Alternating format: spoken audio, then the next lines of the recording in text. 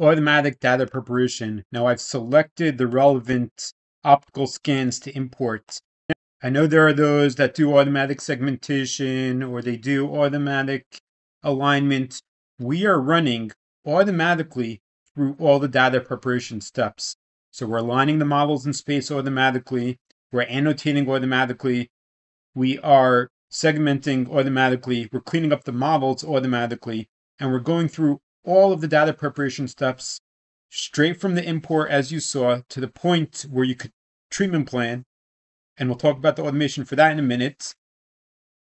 Completely automatically.